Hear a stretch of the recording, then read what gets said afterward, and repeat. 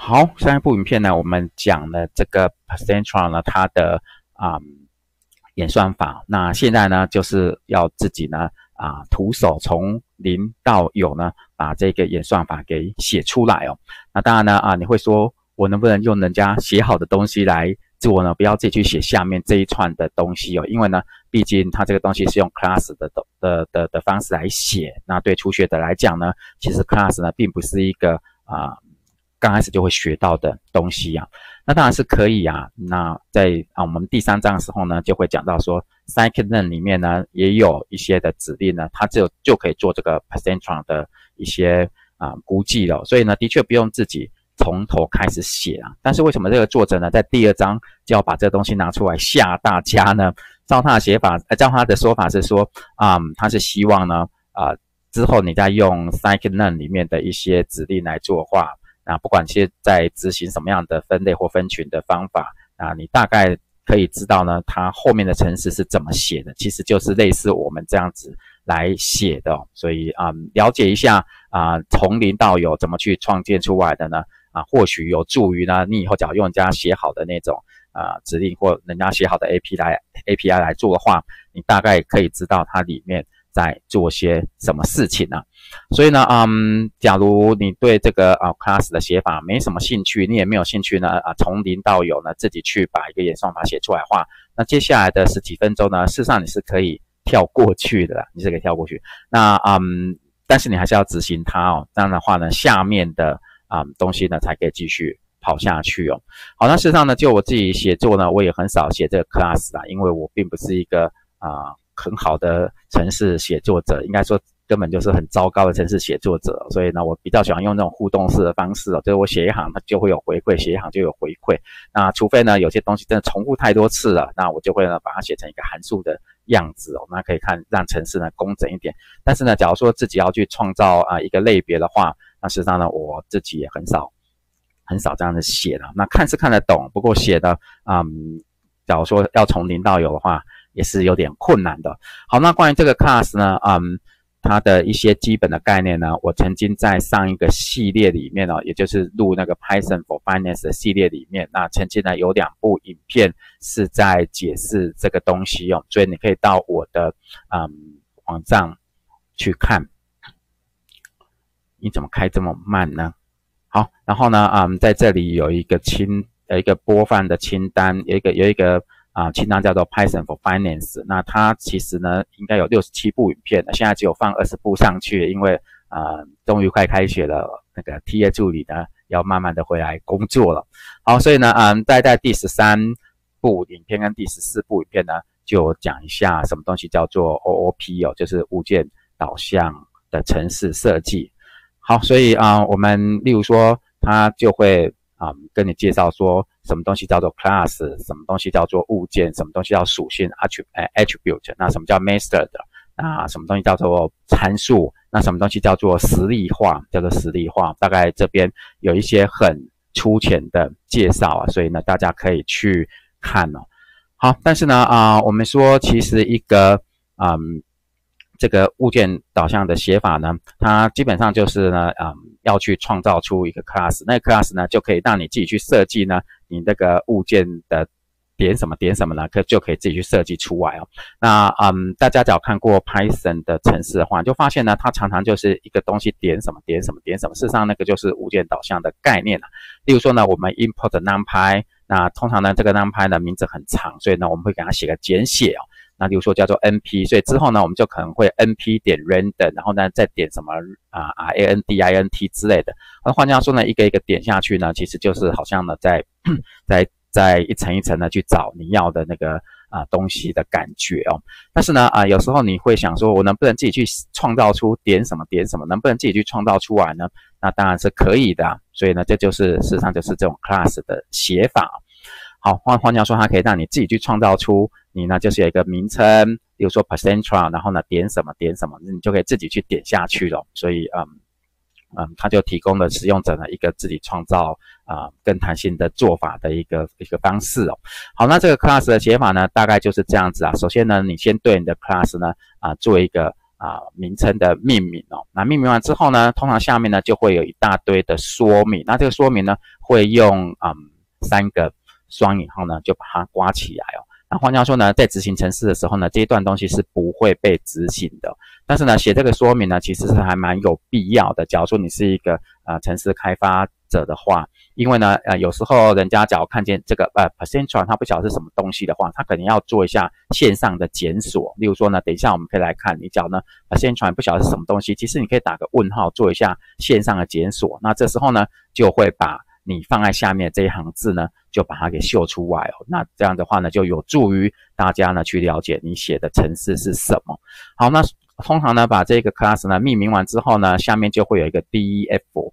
然后呢，有两个底线，i n t 在两个底线哦。那基本上呢，这个东西叫做一个啊建构值啊，建构值。那这个建构值什么意思呢？那通常初学者就会觉得很奇怪，为什么呢？就有一大堆什么 safe 点什么 safe 点什么。那你可以把它想象呢，其实类别它是一个非常抽象的一个概念啊。这个 class 是一个非常抽象的概念，它只是呢定义某个东西很抽象的概念哦。但是呢，通常呢，我们就是要丢一个实例进去，那那个实例呢？啊，叫做 instance，那那丢实例进去呢，其实就是去弄一个物件出来。那例如说呢，我们只要把这个 class percent 定义完之后呢，等一下我们应该就想要使用它，我们就可以怎么使用呢？我们就写 percent 啊，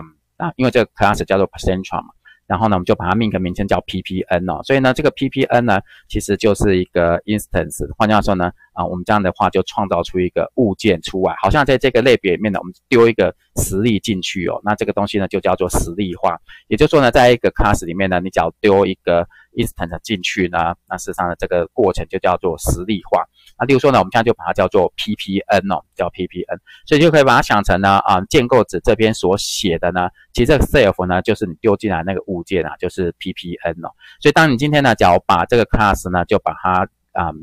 令成点 ppn 的话，那事实上呢，你就可以把它想成呢，今天你就是在这个类别里面丢进了一个 instance，那好像呢就丢进一个物件一样哦。然后那物件呢，就是你命名的名称叫 ppn，所以呢，这时候呢，那个 ppn 呢，它就取得了。点 eta 点 n iter 点 random state 的这一个这一个嗯结果，那换句话说，你可以把它想成呢啊，这个建构子基本上就是你只要丢一个物件进来，则呢它就拥有了我们下面这边所。定义的这个属性哦，这个属性好，所以嗯，这个 self 你就把它想成呢，就是你之后呢会去用这个 class 的那个命名啊，所以 self 点 eta，假如说你等一下要用这个 class 的话，你把它啊命名叫做 ppn 的话，那事实上呢啊，你把你定 ppn 等于 percentron 的话，那事实上呢啊 ppn 就可以点 eta 点 n 底线 iter 点 random state，那这个嗯后面点的这个东西其实都是你自己定的啦，都是自己定的。呃，并不是城市定的。好，那通常呢，这个建构值做完之后，那下面呢就会定一大堆的 method。那 method 呢，啊，就中文翻成方法方法。但是呢，这个方法其实中文翻译呢，啊，很容易令人混淆啊。那但是好像也没有更好的翻译，翻译就对了。那所谓的 method 呢，就是说它有点像是一个像是一个函数的概念，函数的概念。但是呢，啊，它并不像呢我们一般。嗯，在写程式的时候，然后我们自己定义的那个函数，而是呢，它是定义在一个 class 里面的函数。然后这个函数呢，就是可以让使用者做什么呢？就是说这个函数呢，它有时候有一些选项，那可以让使用者呢去。去设某些参数进去，然后就可以开始对这一个 class 呢做一些的行为的改变，或者是结果的改变等等哦。好，所以这大概就是一个基本的概念。那当然，假如说你要更深入的话，我会建议你还是去修子工系的课，不然就到网络上呢有很多那种什么物件导向程式这种什么呃三小时认识的那种课，可能会比较有。有有用处一点啊，好，所以总而言之，大概它的概念就是，我们首先先创造出一个 class，先把它命名，然后假如说你今天这 class 没有要跟另外 class 有任何牵连的话，通常这边就会写 object，然后做完之后呢，就开始呢啊去做一个 constructor，所以就是会 define，然后两个底线 i n t 两个底线，你可能会觉得就觉得这个两个底线看起来怪怪的，你可以把它想成它就是一种特殊的。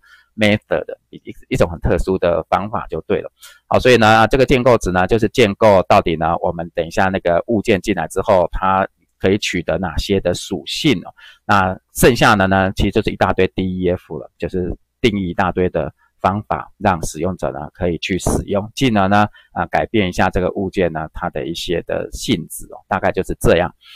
好，所以嗯，我们看呢，首先我们把这个嗯 class 呢就叫做 percentron，那那里面这就写 object，因为呢这个物件呢其实跟其他的物件呢大致没有什么太大的关联性，它是这些新的物件哦，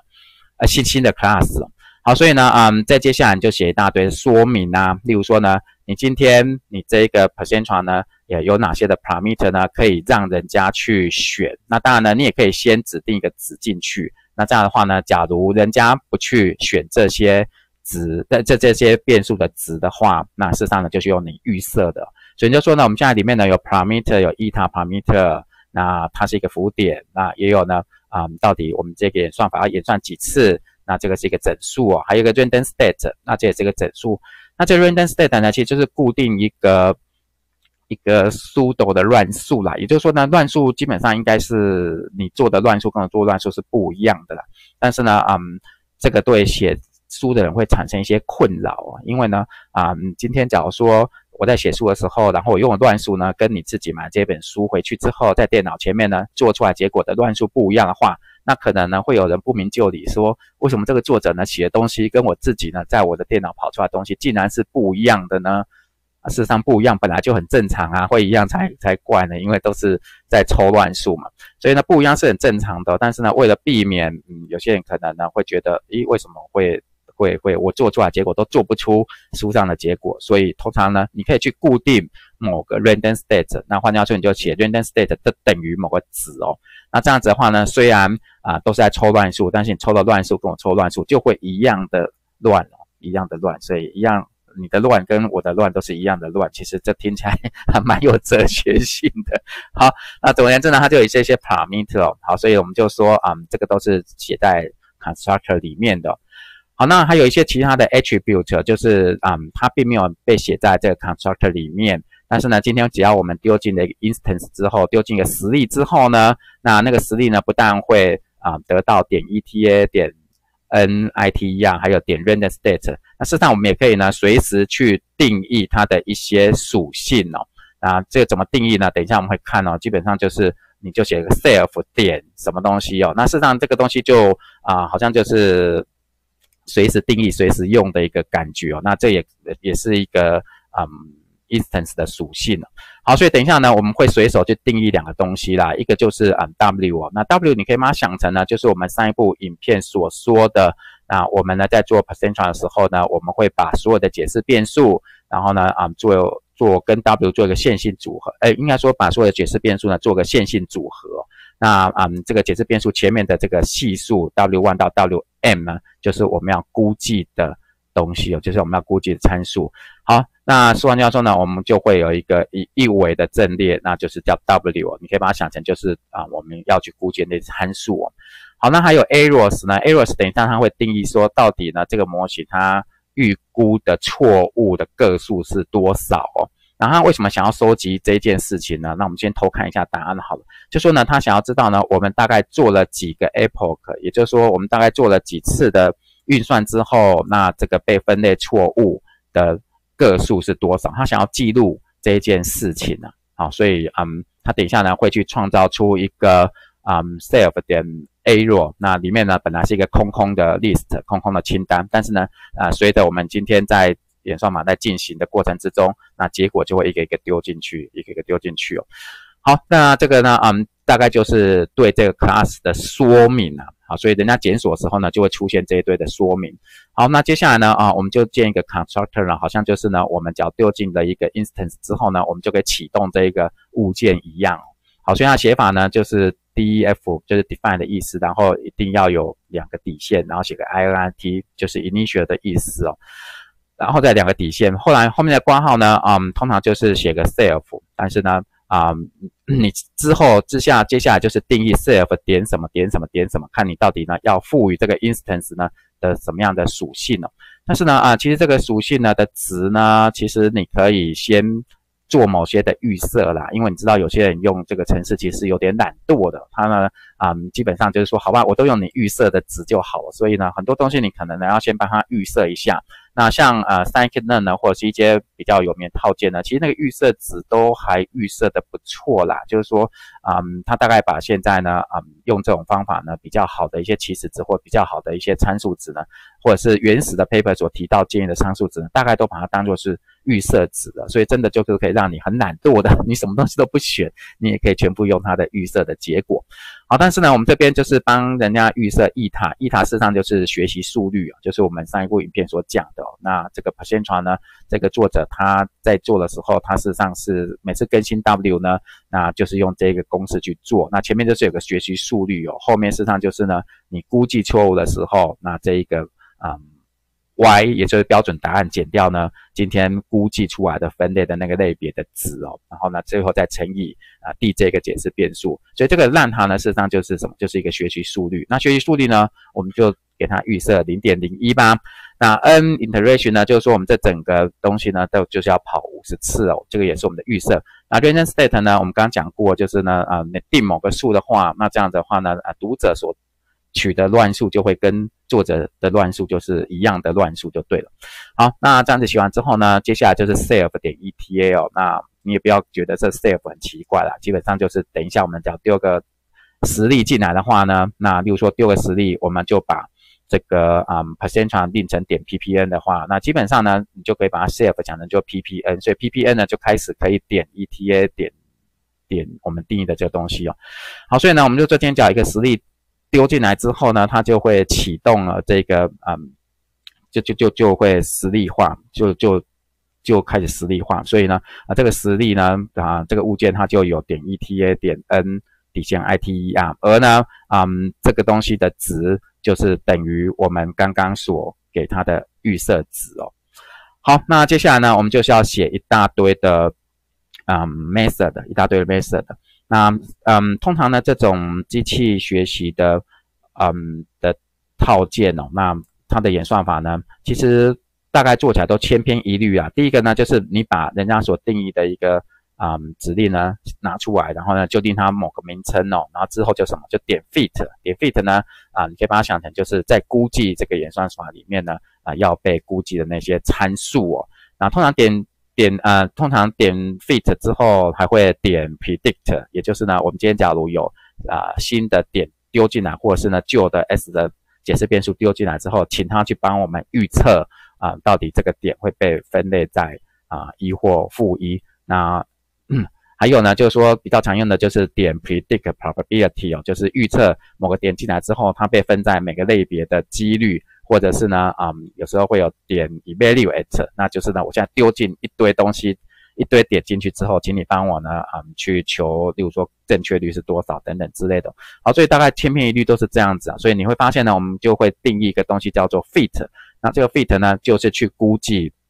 估计啊里面参数的意思哦。好，所以呢，它这边就写个 define fit，然后还是一样 self，就是一个那个物件进来，然后呢，我们现在有解释变数 x，还有呢每一个点。它的标准答案 y，那接下来呢，他又写了一大堆注解哦，便于人家呢在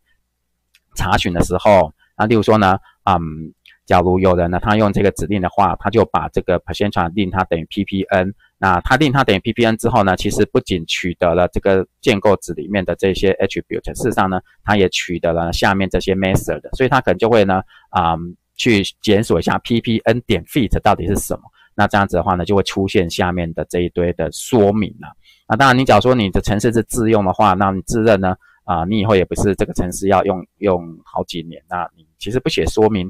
也是可以的啦。但是，假如是开发者的话，最好是把说明写一写哦。那其实我建议呢，啊，有机会就把说明写一写吧，不然啊，你只要到我这个年纪呢，你会发现说，怎么三天前写的城市，你竟然自己三天后都看不懂在做什么事，这个是。这是常常发生的事哦。好，所以呢，他说说点 fit 呢，我们就是会丢进 x 跟丢进 y 哦。那他说呢，x 事实上就是类似一个阵列，y 也是类似一个阵列。那阵列这个 shape 到底是什么？那我们就举呢，等一下他会丢进来这个鸢尾花的那个资料库了。那这个鸢尾花资料库呢，我们嗯在。在上上部影片呢，大致看过，它有一百五十笔的资料，所以呢，它的解释变数你可以把它想成呢，它有一百五十笔的资料，而且呢，它有四个解释变数哦，所以呢，这个啊 s 呢其实就是一百五十乘以四。那这四个解释变数呢，其实就是花二长、花二宽跟花瓣长、花瓣宽哦。好，所以呢，像这样子的一个阵列呢，它在 Python 里面呢，它的 shape 呢，其实就是一百五十、一百五十，然后逗点四，它就是一个二维的二维的 tensor。通常我比较喜欢讲二维的张量。好，所以他就说呢，是 shape 是长成这样。好，那这个 y 呢，我们记得说，因为有一百五十个样本，然后呢，有总共有三个类别，换句话说，就三种花，每种花呢，总共有五十个啊，总总共有五十个样本哦。好，所以通常呢，我们在嗯上线性代数的时候，我们就会说，今天呢，在人文科学里面，一个向量，假如呢没有特别指明的话，我们通常反应呢都是蓝向量啊。所以你你可能会把这个 y 呢想成说，它是不是就是一百五十乘以一的一个向量？那的确没有错，在线性代数里面呢是这个样子。但是呢，呃，一百五十乘以一呢，其实它基本上在 Python 里面，它是觉得说它就是一个一维的东西。那一维的东西呢？一维的张量呢？事实上，你就用一个数字来描述它的 shape 就好了。所以通常呢，这种嗯，只要是一维的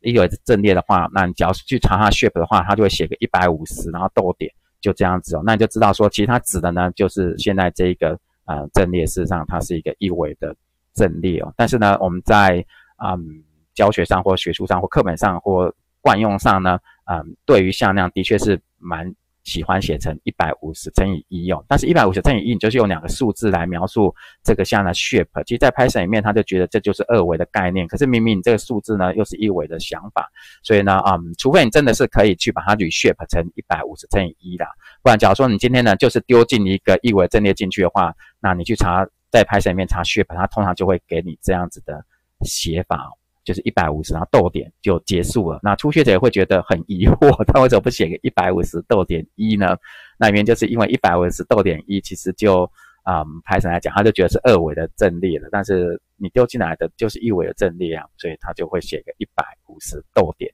这个样子。好，那嗯，这那就这些说明了。好，所以接下来呢，我们就要开始看呢，到底怎么去啊点 fit，就是怎么去估计我们的参数。那这参数呢，啊。到底要怎么去估计？其实就是按照我们上一部影片所讲的，我们这个的作者呢，他所使用的这个带有学习速率的 percentron 的那个嗯参数的更新方法。好，所以嗯，他现在呢就说我们要给这个 w 呢一些的起始值啊。那当然呢，有些书会说这个 w 呢的起始值我们都全部设零就可以了，也未尝不可啦。啊，但是呢，嗯，有时候我们喜欢呢给他一些在零附近的起始值哦。好，所以呢，我们就说 numpy 点 random，那 numpy 点 random 呢，就是在 numpy 里面啊的 random 的那个那个套里套件里面呢，我们想要去抓乱数的一个一个一个套件。好，所以呢，我们就是 numpy 点 random 点 random state，我们先把 random state 把它固定下来。好，所以呢，你看一下下这有一个 self 点 random state，基本上就是呢啊我们这边定义的东西哦。你可以把它想成，假如今天呢你啊把派先传令成点 ppn 的话，基本上就是是 ppn 点 random state。好，所以呢，我们就嗯先把这个 random state 呢，先把它命名叫做 rgen 呐。好，所以你就发现，哎，其实 Python 真的就是一个点什么点什么一直点下去的一个物件导向的事情了。好，那啊，我们把 random state 呢定义完之后，然后呢，我们就继续点 normal。换句话说呢，我们希望每一个 w 呢，它其实啊，它的起始值呢，就是在一个常态分配分配里面去抓一些乱数出来。那这常态分配呢？我们都知道它有两个母数，一个是期望值，一个是变异数，或者是所谓的标准差哦。那在这个嗯程式写法里面呢，其实用的大部分我看到都是标准差，而且都叫做 scale。好，所以这个 location 呢，其实就是期望值啊，就平均数。然后这 scale 呢，其实就是标准差。所以呢，我们现在打算在一个啊期望值是零，标准差是零点零一的常态分配里面去抓出一些。乱数出来，那你会发现，哎，其实这个东西标准差很小，所以还蛮集中在零附近的。好，但是呢，我们到底呢这个 size 要是多少呢？好，那我们就发现呢，这个 size 呢就是一再加上大 X 的 shape 中括号一。那大 X 的 shape 我们刚刚讲过了，就像呢这个大 X shape，我们只要等一下拿鸢尾花的话，它 shape 其实就是两个数字。那第一个数字是一百五十，第二个数字是四哦。但是呢，Python 都是从零开始的啦。所以第一个数字呢，编号反而是零。第二个数字呢，编号其实反而是一呀。好，所以您发现呢，它现在就说我要在 X 的 shape 里面呢，把编号一的数字抓出来。那事实上就是什么？就是抓出四，也就是呢，我们现在有四个解释变数，所以呢，我们必须呢去啊标准常态分配里面，呃，哎，不是标准常态分配，在我们所指定的这个常态分配里面呢，去抓四个乱数。但是想看看，哎，其实好像少一个 w 呢？为什么呢？因为我们说今天这四个解释变数呢，就是因为每朵花它有花瓣长、花瓣宽、花花二长、花二宽。可是通常我们呢，啊，在上一部影片我们讲说呢。啊，我们习惯给它一个那个嗯 bias，就是所谓的截距项哦。那这样的话呢，我们本来呢力大于某个门槛 t 塔，我们会赋予它一。但是只要我们把这个 t 塔减掉的话，那这样子的话呢，我们就说 z 大于等于零呢，我们就赋予给它一哦。好，所以呢，我们习惯就加一个截距项进去，这个大概就是通常所谓的 bias 哦，就是在这个领域里面就叫做 bias，但是它好像就是把某一个门槛或某个值把它平准的概念啊。所以呢，嗯，这边除了 w1 到 w 四之外呢，事实上我们还要加一个 w w 零哦，也就是截距项。也是截距项，所以呢，我们总共要去抓五个乱数出来，所以它这边 size 呢才会写一，再加上呢大 X 点 shape，所以在我们刚刚所举的例子里面就是一再加上四，所以呢就是抓五个乱数出来。也就是说，我们现在呢，嗯，必须要去估计 W 的零、W one 一直到 W 四，总共要估计五个参数，所以呢，我们这五个参数呢就都给它起始值哦。好，那再来呢？嗯，我我们就会发现说，这个东西我们就把它叫做 self 点 w 底线。那你会说，诶 s e l f 点 w 底线，我们刚刚呢在这个 constructor 里面并没有去定义它，那没有关系哦。其实呢，这个嗯，这个物件呢，这个丢进来这个 instance 呢，其实它可以任意的点什么点什么，然后呢在下面就自己再多定义出来也没有问题的，并不一定呢啊一定要写在上面这地方，因为写在上面这地方的话，嗯。嗯事实上也可以啦，但是呢，嗯，就有时候你可能随手就想要再多定义某些东西的话，其实你接续之后再写也是行的。好，所以呢，刚刚那个嗯呃要估计的那些参数的向量，我们就把它定义成 self 点 w 底线。那再来呢，就是我们刚刚讲过，他想要把呢每一个 epoch 可能每一轮呢在估计的时候，到底有几个点被分类错误。的这个过程也要把它记录下来哦，所以这个就是呢，啊，要把它放在一个 arrow 里面哦。那这个啊，它就定一个东西叫做 self arrows，然后也是一个底线。那首先呢，先丢一个空空的 list 这个资料结构进来。啊，嗯，现在里面是空空的，但是等一下呢，我们跑完了啊一个啊，我们跑完一些结果之后呢，这结果就会依序的呢就被丢进来，就被丢进来，就被丢进来哦，就是就是这样。好，那再来呢？我们就是写个回圈吧。那基本上应该是说写两个回圈呐。所以呢，我们说 for 一个东西 in range 什么什么的话，那事实上呢，for 通常呢，for 一个 dummy variable 一个亚变数 in range 多少，这是一个很常用的一个回圈的写法。那前面这个 dummy variable 当然可以写 for i 啊，for j 啊，甚至你只要是中文的话，你可以 for 甲 for 乙等等哦。但是有时候呢，写程式呢，就啊就要想那个变数的名称，还真的蛮难想的，所以就有时候就写个底线吧，好像就是呢，呃，暂时用一下你这个这个符号的感觉哦。好，所以我们就 for 一个底线，你可以把它想成就是一个 index，一个 dummy variable。然后 in range 呢，self 点 n i t e r，就是说我们刚刚讲说呢，我们预设让这一个过程跑五十次。所以呢，我们就说引愿举五十哦。那引愿举五十呢，其实这个底线呢，它的值就会从零一直零一二三四一直到四十九。那换句话说，也是跑了五十次，但是呢，它是从零开始一直到四十九而已啊。也就是说呢，通常这个引愿举多少，那后面这个数呢，其实就是我们第一个不要碰到的数。所以我们写五十进去的话，那实际上呢，这个 dummy variable 就只会到四十九而已啊。但是呢，它是从零开始的，所以零到四十九终究还是。跑了五十次，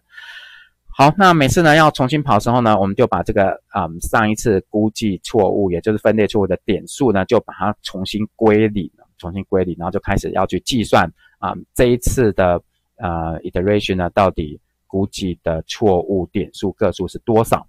好，然后再接下来呢，他就说，我现在就把这个 x 跟 y 呢，就把它 zip 起来。zip 其实就是一个拉链的意思啊，你可以把它想成呢，x 本来它可能是一个阵列，y 可能是一个阵列，但是呢，我们今天只要把 zip x y 的话，那其实呢，我们就是把这个阵列呢，相同位置的地方的数，就把它好像拉链一样，就把它给拉起来哦。好，所以呢，我们现在可能就可以把编号零的那一笔那那朵花的 x 跟编号里那朵花的正确答案 y，我们就把它抽出来哦。那事实上 x 跟 y 本来是分别是不同的阵列，但是我们今天把它 zip 起来的话，那就是呢这个阵列相同编号的位置的数就会被我们一次就会被我们同时抓出来。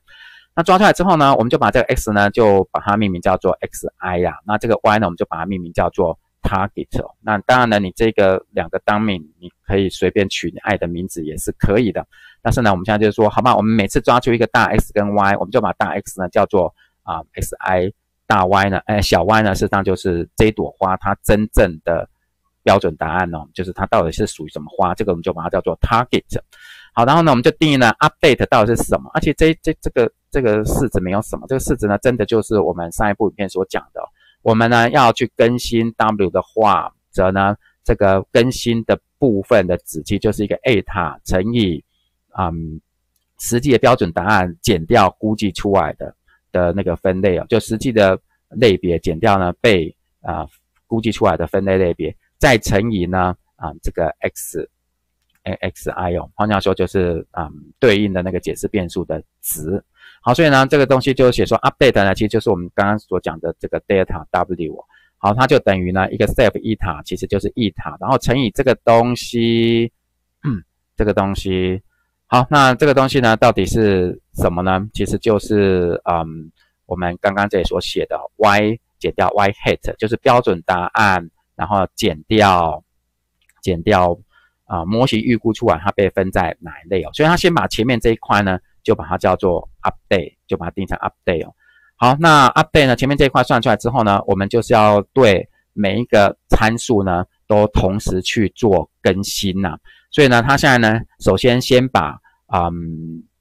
我们我们现在到底有哪些参数呢？我们再来回忆一下。我们现在参数有 w 零、w one、w two、w 三、w 四。然后呢，这四个参数呢，其实是被放在一个 w 的阵列里面的。所以你可以把它想成呢，现在的 w 的阵列呢，其实它里面就是有。啊，W 零、W one、W 三、W 四哦，然后就写快点，就写 W 零零，然后呢点点点到 W 四。好，那啊，你怎么把这个 W 零或 W one，就是说你要的 W 给它给抓出来呢？事实上，这就是一个切片的概念呐。那不要忘记呢，其实 Python 都从零开始的，所以 W 零呢，它的编号事实上是零哦。然后呢，W one 它的编号就是一。那我们现在呢，想要先把 W one 跟一 W one 到 W 四呢，就把它给抽出来哦，毕竟 W one 跟 W 四呢，它在更新的时候呢，后面是要乘一个 x x i 的值哦。好，所以呢，怎么把它抓出来呢？那我们就用切片的方式，我们就说在 W 这个阵列里面呢，我们我们要从啊编号一的数字开始取，那也就是编号一其实就是 W one，也就是第二个值哦，第二个第二个元素，然后一直取一直取到最后，所以一直取到最后的话呢，我们就写一个一。冒号，因为既然取到最后的话，我们后面冒号后面这东西就可以不用写，就代表说它就取到最后的意思哦。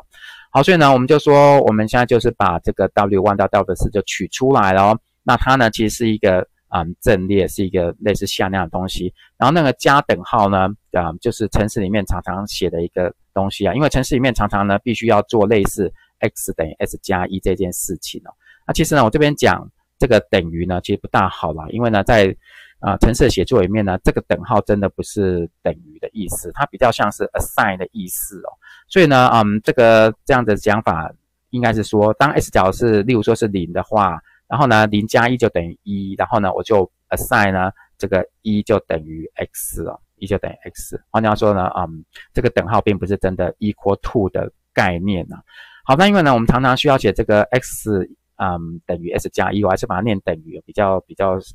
常比较习惯，那我们因为常常需要写这个 s 等于 s 加一这种事情哦，所以很烦。因此呢，有一个简单的写法就是写 x，然后加等号，然后呢一，事实上就是 x 等于 s 加一的意思哦。那同理可推啊，你可以把它想成 x 减等号一就是 s 等于 s 减一，然后呢 x 然后相乘呃 s 乘号等于一，就是 x 等于 s 乘以一。不过 s 等于 s 乘以一呢，听起来怪怪的，不知道在做什么 啊？对，然后呢，当然也可以去定义类似的除法。好，所以呢，我们说 w one 到 w 四呢，它就必须要去做更新哦。好，所以呢，每一个 w 呢，啊，它事实上就是上面算出来的这个 update 乘以呢，啊，我们这个 x 里面的对应位置的那个 xi。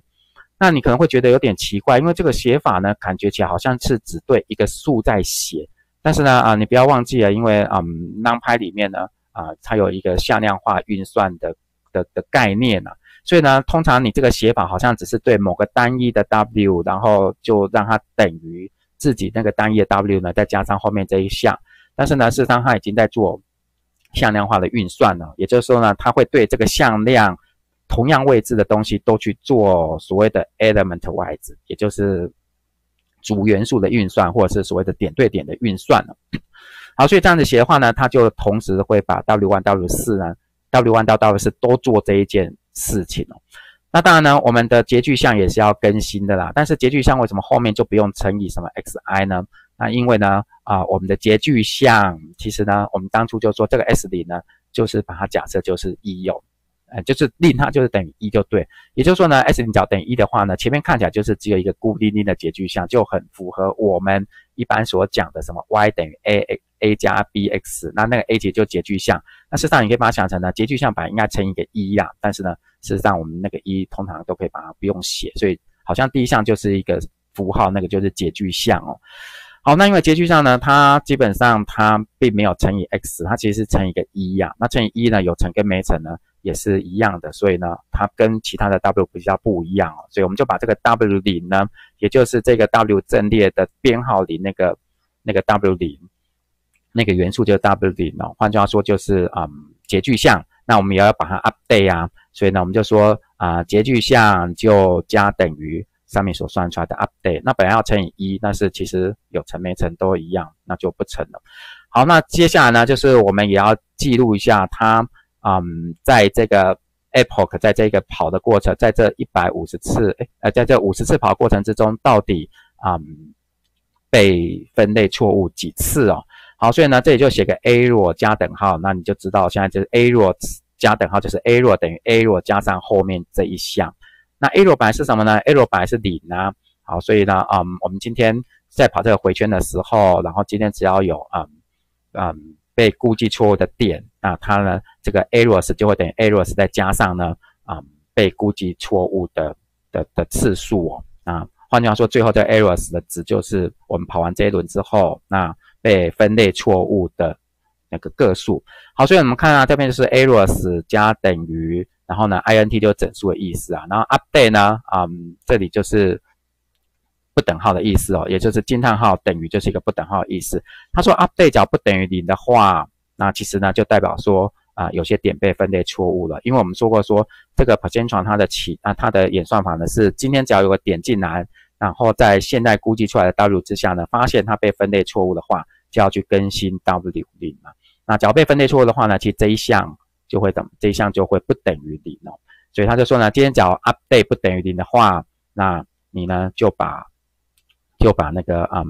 就把那个次就把它给记下来哦。好，所以嗯，我们每抓一个点进来之后，errors 就等于 errors 再加上到底这次有没有被估计错误哦。好，所以这样子全部跑完之后，我们就得到呢啊这一轮五十次全部跑完，到底啊被估计错误的点数是多少？所以呢，我们就决定丢进去上面这个 self 点 error 的这个空空的集合。空空的 list 里面哦，所以呢，这个用用的方法就是点 append 的概念哦，所以我们就说，我们就把上面的这个 self 点 errors，然后呢就点 append，那换句话说就是我们现在想要把东西渐渐丢进去，那到底要丢什么呢？其实就是丢挂号所写的这个事情，那挂号所写的这个事情呢，其实就是 errors。好，所以啊，这里是一个双回圈呐，那嗯，最主要是里面这个回圈在做。然后做完之后，我们就把这个啊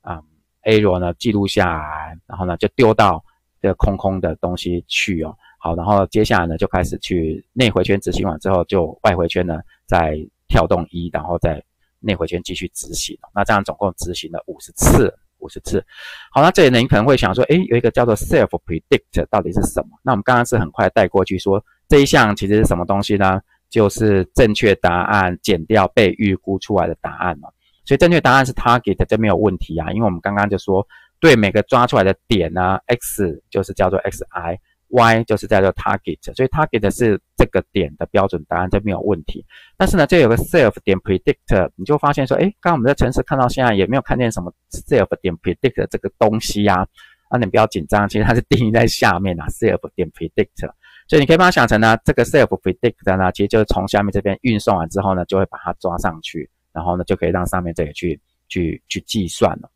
也就是说，看见这个 self 点 predict，然后就会抠下面这一个 method 的，然后就把这个结果就把它传上去。好，所以大致演算法真的就是这样啊，写起来呢真的是不到二十行哦，啊，或是不到十行。这就是我记得那个林学田老师的吞片里面好像说，这个东西演算法写起来根本就是比十行还少。还是比二三还少，我有点忘记了。总而言之呢，就是不用写几行就结束了。好，那当然呢，下面呢，它又定义了其他的 method 了。那啊，我们就看一下呢，这个 net input 到底是什么事情哦？那 net input 说穿了就是要算什么呢？就是要算 w 零，然后加 w 一乘 s 一加 w two 乘 s two 加 w 三乘 s 三加 w 四 s 乘以 s 四，就是要。做这一件的事情啊，好，所以呢，它事实上就是用 NumPy 里面的 dot，所以它就是 x 跟呢这个 w 零，哎，跟这个 w 零，哎，跟这个 w 的向量，但是我们是从编号一的，嗯，的那个嗯元素之后才开始抓，所以你可以把它想成呢，这就是一个矩阵跟一个向量去做内积呀，所以假如说你今天啊在在数学上写的话呢，假设这个是 x，这个是 x 的矩阵哦，然后嗯，这个事实上是 w 的向量。那我们现在这个 w 向量呢，嗯，是没有包含截距项的。那通常呢，你在数学上你要怎么写呢？其实就是 x 这个矩阵，然后呢，啊，乘以这个嗯 w 的向量，w 向量，你会这样子去写啊，一百五十乘以四是不能乘以。啊，对，你会这么去写。好，所以呢，我们现在就是要把这个矩阵呢乘以这个向量啊。但是我现在觉得说，诶，它怎么，它其实没有办法乘的啊。所以我刚刚这里的 w 事实上是讲错了，不是一百五十乘以一哦。看一下，呃呃，这个 w 在这边，所以啊，我刚刚这个，我刚刚举的这个地方应该是我在讲 y 啦，在讲 y，在讲 y，所以我不应该把直接把它给 w 写上去，因为我刚刚呢在。在画这个向量的时候呢，其实我讲的是 y 是 y，所以呢，我们现在就说呢，我们现在 w 呢，假设有个向量哦，然后呢，它就是四乘一的，就是 w one 到 w 四。好，所以呢，我们现在就是要把 s 跟 w 相乘。那在数学上你就会这么写哦，因为呢，一百五十乘以四跟一个四乘一的相乘呢，乘起来是可以乘的，就是呢，一百五十然后乘以四跟呢 w 呢，假如是四乘一的话呢，这个矩在矩阵上，在线性代数上呢，事实上是可以。算的是可以算，然后呢，假如说你是要用 NumPy 点 dot 的方式来做的话，那你就 记住哦，那前面呢就是写 x，那这个 x 呢，现在的 shape 其实是一百五十，然后四，然后四，然后那跟什么东西都 dot 呢？它跟 self 点 w，然后呢，我们就从编号一地方开始抓，所以事实上就是只有抓 w one、w two 到 w 三到到 w 四，可是呢，现在这个 w 呢，其实它事实上它的 shape 在 Python 里面呢，其实就是四逗号，就四逗号。所以这这两个东西做 dot 完之后呢，事实上它呢就会得到一百五十逗号的结果。你可以把它想成呢，它好像在做内积，就把前面这个矩阵的每一列跟后面呢这个 w 的列向量呢去做内积的的的感觉哦。那事实上跟我们线性代数里面所写的，把这个 w 写成值的话，做出来结果会是一样的啦。好，所以呢前面这地方其实呢就是在做 w 哎 x 乘以 w。啊，后面呢就是再把截距项加上去而已啊。好，所以你可以把它想成呢，这个 net 底线 input 呢，它就是在做什么呢？它其实就是在计算我们上一部影片所讲的 w 零加 w one s one 一直加加到 w 四乘以 x 四的结果，这东西就叫做 net input。那我会说 net input 到底用在哪边呢？用在哪边？实际上就是要用在 predict 这个地方哦。好，那当然下面这个都是注解了。好，所以呢，我们说。啊，predict 到底是什么呢？那这边它就用一个 np 点 while，numpy 点，哎，numpy 点 while 不是 while 是 while。那 numpy 点 while 呢，我一直觉得就很像 Excel 里面的 if 那个指令哦。那 Excel 那 if 指令通常就是呢，里面会写三样东西，第一样就是条件，那第二样就是条件角成立就执行第二样，第三样就是条件不成立就执行第三样哦。所以呢那拍点 while 真的很像是 Excel 的 if。好，所以我们就说呢。嗯，上面算出来的这个结果，那这个结果事实上是什么呢？就是我们在上一部影片所讲的这个 z 呀，这个 z 哦，就 z。好，所以呢，z 只要大于等于零的话呢，我们就要赋予它是一哦。然后呢，也就是说，我们机器就说它就被归在第一类啊，其他状况呢就被归类在负一。好，所以呢，它这边就写 self 点 net input x。那这个是什么？这实际上就是我们刚刚定义的上面的这个函数啊，这个 method 的。好，所以呢，嗯，就把它叫进来哦。然后呢，我们就说大于等于零的话呢，则我们这 predict 呢的结果就是一，不然呢，啊，predict 的结果就是负一哦。好，所以他就把这整个东西呢包在一个叫做 percentron 的物件里面了。这大概就是一个物件导向的。城市的一个简单的概念了。好，那我们现在呢，可以来看一下这个 percentron。那 percentron 呢，假如说你要去打问号做索引的话，它就会出现下面这件事情，就发现，哎，这不就是呢？刚刚我们在写时候呢，写在这边的注解嘛。所以呢，注解是蛮重要的啦，因为它可以让使用者呢，啊，容易的去了解你这个这这个指令或这个嗯这个 class 到底在做什么事情哦。当然呢，嗯，你假如说有把我的影片全全部看过之后，你就发现呢，我常常在线上做这种索引，啊，有些索引是真的写的蛮烂的，几乎有写跟没写一样，但是有些是写的蛮详细的。好，那当然呢，啊，percentron 它是一个 class 啊，你就可以呢 percentron，然后你就啊点，然后就按 tab 键哦，看看它到底里面有什么，就发现它里面就是有点 fit 点 ne input 点 predict，那其实就是什么呢？就是这个 percentron。它下面所定义的这些 method 就是点 fit，然后点 net input，点 predict，大家就这样。那你会说为什么它没有点 e 塔点 n i t e r 呢？因为你今天呢，这个点 e 塔是 self 点 e 塔，那换句话说，你必须呢把这一个物件呢，就把它丢一个实例进去，丢个 instance 进去，那这样那个 instance 呢，它才会拥有点 e 塔点 n 底线 i t e r，同时呢，拥有下面的。点 fit 点 net input 的的一个的一个能力哦。好，那嗯，在接下来呢，这里作者为什么要做这一行呢？其实他啊，只是要告诉你说，假如两个向量它的方向是相同的话，则它的 cosine 值就会是零呐。那这个有点呼应呢啊，我们在上一部影片所讲的，就是说我们这个 percentron 呢，你在更新这个 w 的话。基本上就是，假如本来一个正确答案是正一，被你错误归类在负一的话，那我们就是希望呢，让这个新的 w 的向量跟 x 的向量呢，它的夹角就越小越好。因为夹角越小，例如说夹角是在零到九十度的话，cos 值就会是正的，那就代表呢，啊，u dot v 是正的，就代表说它就会被赋予正确的一的数哦。那这 cos 值分母。这个向量长度一定是正的，所以你暂暂时可以不管它，因为它不影响到 cos 的正负号。好，所以嗯，它下面这里就是告诉你说，因此今天两个向量的夹角角越相近的话，那其实呢，嗯，它的那个它的那个嗯，dat 出来的值呢，就会越是正号。所以它这边就。就就做了一个实验呢，就是说，假设我们有个向量呢，叫做一二三的，他就把它叫做 v one，然后呢，v two 就是呢零点五乘以 v one，所以你可以把它想成呢，基本上就是跟 v one 是平行的，而且方向还相同呢，只是呢长度比较短一点而已哦。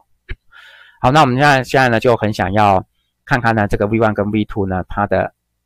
cos 是多少？那什么叫 cos 呢？就是嗯。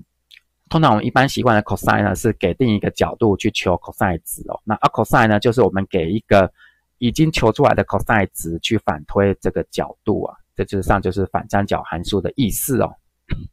好，所以它这里呢就就嗯分子这边就是 v one dot v two，那就是我们这边所写的 u dot v 哦。然后分母部分呢就是两个向量的长度，所以呢它这边就是用 NumPy 里面的 linear。啊，algebra 就是 L I N A L G 这个套件，然后里面有个 norm，就是呢去算这个向量长度，所以他就把 v one 的向量长度乘以 v two 的向量长度放在分母哦。好，所以这两个东西，哎，这个东西算出来之后呢，我们就得到一个 cosine theta 的值。那我们现在呢要去反推那个 theta，所以呢事实上就是 arccosine 所以的 n p 点 arccosine，我们就发现呢，其实这两个。向量它的夹角是零啊，那当然是废话，因为呢，你现在 v two 根本就是跟 v one 同方向，只是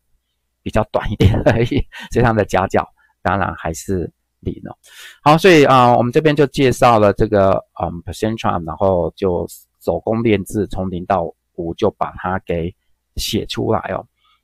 好，那下面呢，它就要开始引进鸢尾花的数的数字哦，然后还要去画一个分类正确图。啊，换句话说，下面就是要引进鸢尾花的数据集，然后去执行我们刚刚所写的这一个嗯 class，然后再来就是要把一些图形画出来哦。嗯，那这个我们就下一部影片再说好了。那我们这部影片呢，就先停在这个地方。